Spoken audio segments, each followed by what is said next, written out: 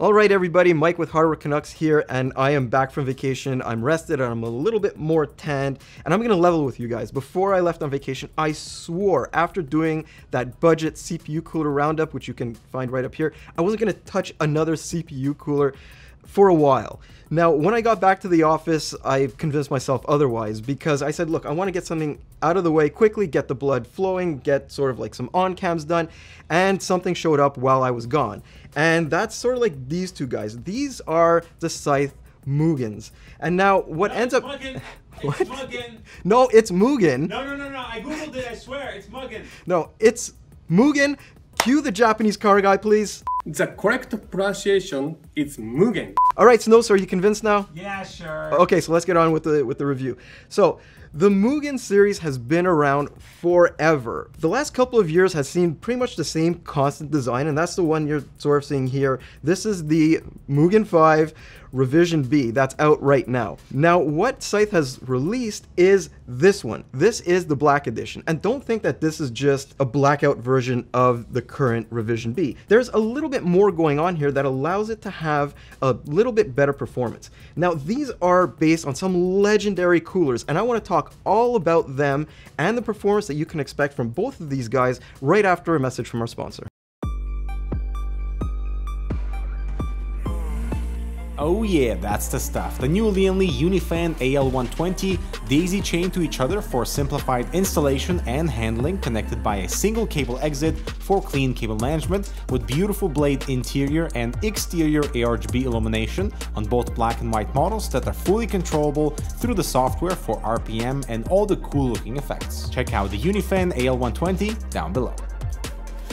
Okay, with that out of the way, I think that the most important thing of any Scythe cooler is the price. Now, I'm going to reach off screen here and bring this guy in because this is my all-time favorite cooler, which we covered a while ago. This is the Fuma 2. Now, just 60 bucks. For me, everything about this, from low noise performance to the installation to everything else, is perfect. Now, these two coolers over here are actually sort of following in that same line as the Fuma 2. So on one hand, the regular Mugen 5 Revision B goes for about 50 bucks. Sometimes you can find it for a little bit less.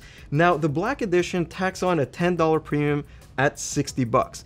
But that might sound like a big premium, but it puts it in line actually a little bit cheaper than the U12S, the standard one, and actually $20 cheaper than the Chromax. That, when you're talking about $60 coolers and $50 coolers, is a huge amount of money. But what are you actually getting for that extra cash? Well, of course you get this sexy blackout design, sort of like what Noctua did with that Chromax lineup that I mentioned a couple seconds ago. Anyways, the biggest change here is what I mentioned before, which is that update to the fan.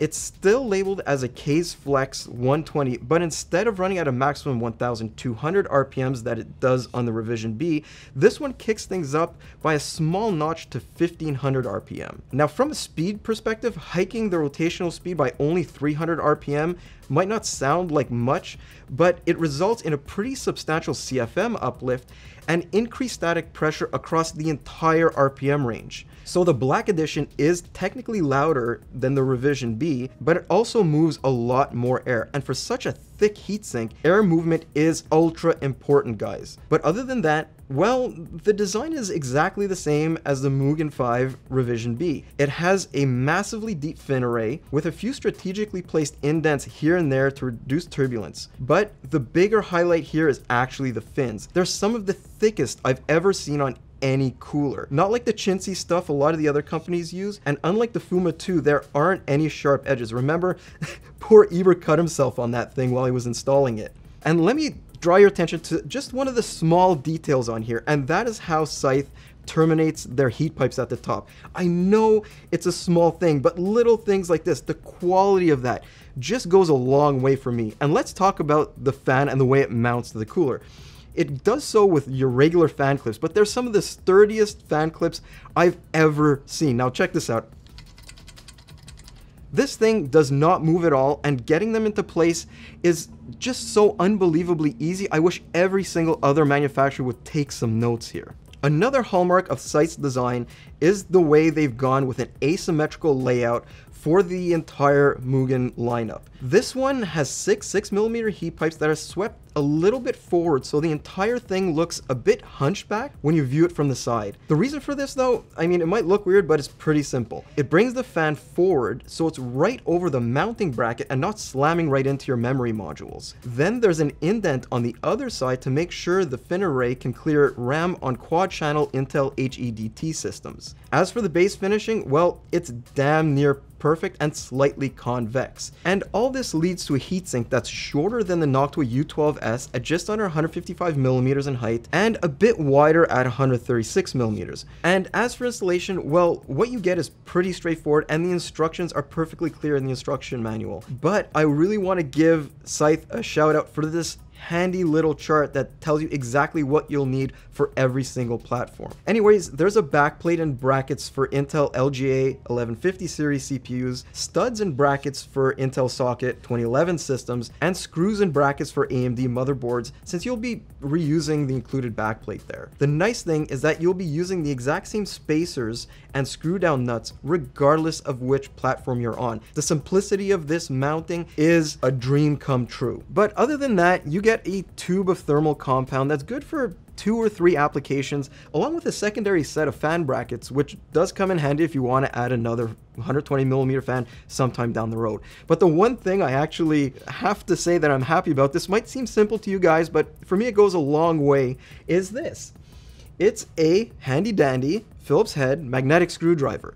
Now this might not sound like much, but when you're building your first system, you might not actually have a screwdriver that's long enough to install this cooler. As you can see, I mean that's the cooler height and that's the size of the screwdriver. So good on Scythe for going the extra mile and including something this simple but this handy in their installation kit. But anyways, let's get on to that installation. We're going to pop this thing onto an AMD system so I can talk all about that.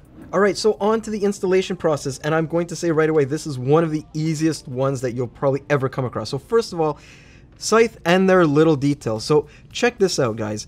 Not only are these spacers used for all the systems, but they also got a little vibration dampener on there. So there's no vibrations between these plastic spacers and the actual metal bracket. So let's put these on very, very quickly on this AMD backplate. One, two, three, four. Done, done, done, and done. Then the next thing is you take your AMD bracket along with the screws that they provide for the AMD systems, put it through and manually thread it one at a time just so they start. Then the other one goes on and that's it. And then you screw these down with that screwdriver that Scythe provides. So that is how you put on those retention arms. I'm going to do the other one and we're going to be right back. Alright, so now with those installed, all that's left to do is take this cross retention bracket that's pre-installed on the Mugen and position it over those screw holes. Then the next thing you do, of course, is you start screwing it down. Now, on one side, it's pretty straightforward, as you can see. No problem there. The only thing is that on this side, because of that hunchback sort of look to this cooler, what you're going to have to do is reach directly through one of these holes here, align your screwdriver, and then screw it in. Let's see if I'm actually getting it. There you go. So after that, you're to screw it down, and that's done. So let's also now talk about that fan. We can talk a little bit about how well it mounts. So it has the two clips that are installed, and it's already on. Look, totally perfect. The other thing I want to talk about is right over here you can see that under no circumstance are any memory modules going to come in conflict with this fan. Perfect installation, good job Scythe. Alright, with that installation out of the way, I guess it's time to talk about performance. And we're going to be testing at three different levels. We're going to test at 120 watts, 165 watts, and the big boy, 260 watts. That's where all, most coolers go in the corner to cry. But anyways, I also wanted to talk quickly about what RPM levels we needed to set to achieve some of our results. So aligning fan speeds with decibel readings, and right away you can see the Mugen 5 Black Edition is tuned for silence rather than extreme performance. I mean, it's so quiet, we needed about 60% fan speed just to hit the noise floor of 36 decibels in the area where we test. Even at 100% or 1500 RPMs, it only hit a maximum of 39.8 decibels, which is still ultra quiet.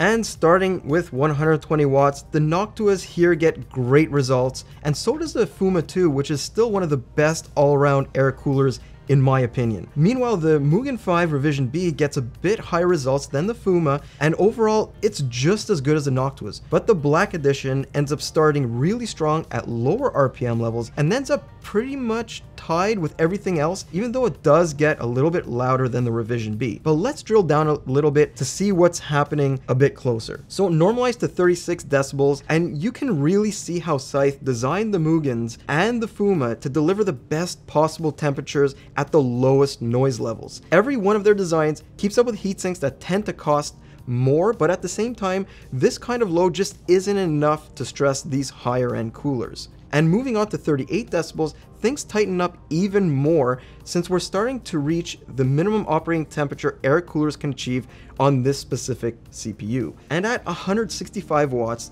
things get a little more interesting, but once again, none of these coolers are gonna end up struggling, especially the Fuma 2, which posts just incredible numbers right across the board. The Mugen 5 Revision B, on the other hand, ends up being a good 4 to 5 degrees hotter, so I'm guessing we're seeing the effect of the dual tower, dual fan layout of the Fuma 2. And that fan on the Mugen 5 Black Edition, well, it does make a pretty good impact and improves temperatures by about 2 degrees over the standard design. That puts it right in line with the U12S in terms of overall performance. Again though, focusing in on low noise performance at just 36 decibels shows exactly where the strengths of the Mugen 5 Black lie. It's a killer option even at this higher wattage, but some of the other coolers in these charts do start benefiting more at a bit higher noise levels. Look, the Mugen still post great results since both of them stick to 65 degrees or less on a fairly hot running 165 watt thermal output. But moving on to 260 watts,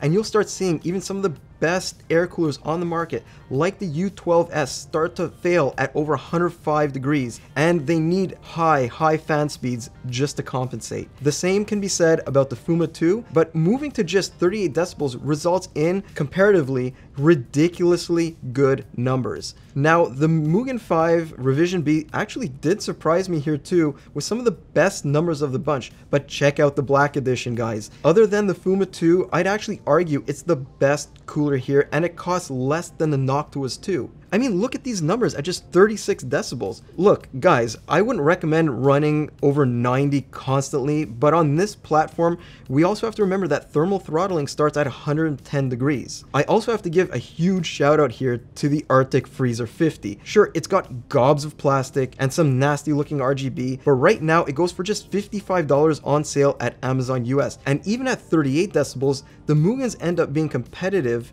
and in a group like this, well, that's a huge huge compliment. It seems their thermal mass is paying off big time. Well, I guess that brings me to the end of this relatively quick video. And I think a lot of you guys are going to know what I'm going to say about the Mugen 5 Black Edition.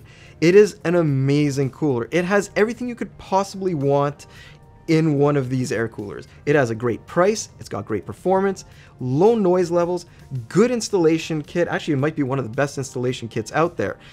It is really hard not to recommend it, but the $50 million question, I guess, is would I recommend the Mugen 5 Black Edition over the similarly priced Fuma 2?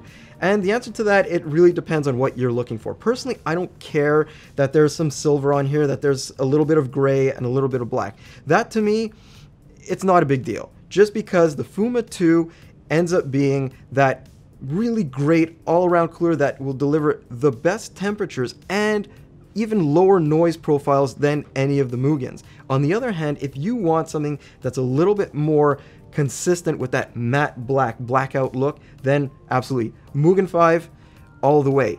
But if you want to save 10 bucks, then geez, go with the Mugen 5 Revision B. It's an amazing option too. So I guess that's pretty much it. Let me know what you think about these coolers in the comments below. I'm Mike with Hardware Canucks. I'm going to see you in the next one.